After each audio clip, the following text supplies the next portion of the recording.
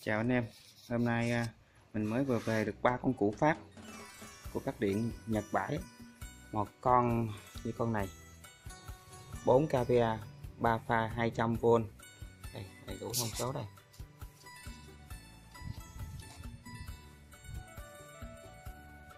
Và một con này là 3 pha có hai con một pha điện 100V mình à, có mình đã test xong rồi. Ném nó đây. Còn à, con này là một pha 3 kVA 3 kg điện 100V anh em có thể dùng biến áp đi ngoài, ngoài đổi gì cũng được dùng được tốt hết á. Bây giờ thì mình test tiếp tục cái con này. Con 3 3 kg kia thì đã test rồi. Bây giờ tính cái con 3 pha này. Mới vừa tăng tăng tạm mấy cái con con vít này vào để để test thử thôi. Mình dùng cái con máy xăng để kéo đầu nén bên này test thử xem tính năng lên điện các thứ. Này. hàng bãi về mà. Chưa dọn dẹp gì cả. Để nguyên zin hết. Đây hình dáng kích thước của nó đây. Đó, nó như vậy đấy củ phát thì cũng không quá to mà cũng không phải là nhỏ. Đúng hàng Nhật. Cái con này thì thương hiệu của nó là ký hiệu ND bây giờ những con chữ này thì mình đọc không được rồi. ND là có của Nippon Denso này, một thương hiệu sản xuất sản xuất củ phát cũng khá là nổi tiếng ấy. các cái thông số như hệ số cốt phi 100% này 200V 100 sạc 200 133 pha luôn.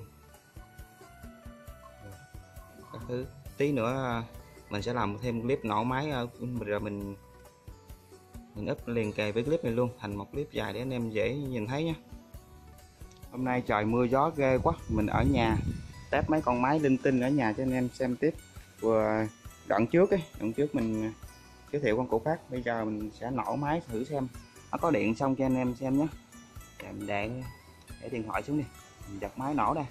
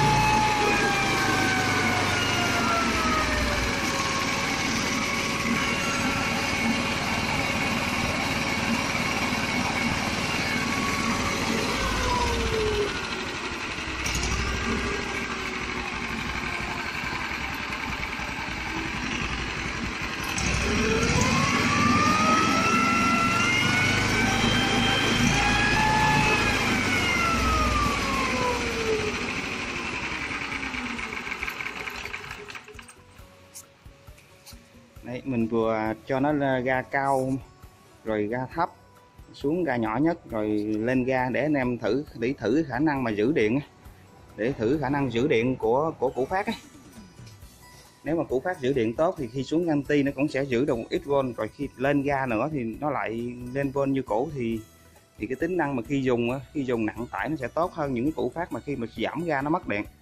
Những củ phát giảm ga nó mất điện rồi lên ga nó mới đủ tải thì thì khả năng khả năng khi mà kéo tải nó, nó vất vả lắm nó dễ mất điện lắm. Mấy con củ phát của à, ND này Nippon Denso này thường là tương đối nó cũng hơi trâu. So với những củ phát Việt thì mình không so sánh rồi hàng này là hàng cũ. Nhưng mà chất nó còn còn khá khá bụi bặm tí thôi chứ thật ra sơn cũng còn khá lắm. Chạy êm không hú bi không hú đạn gì hết. Điện thì lên ổn định cứ nổ máy bật CB là nó sẽ lên thôi. Rồi à, mình test xong máy rồi. Thôi chào anh em nhé.